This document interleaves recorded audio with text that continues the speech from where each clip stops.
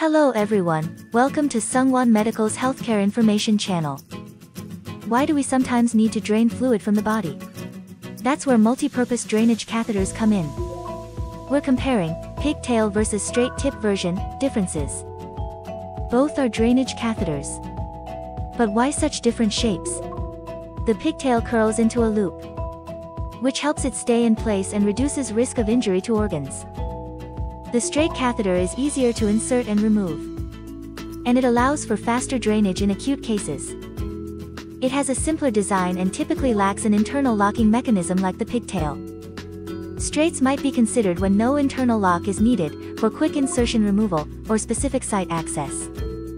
Impressively, it comes with radiopaque bands and hydrophilic options. In the next video, we'll take a look at the pigtail version. Thanks for watching.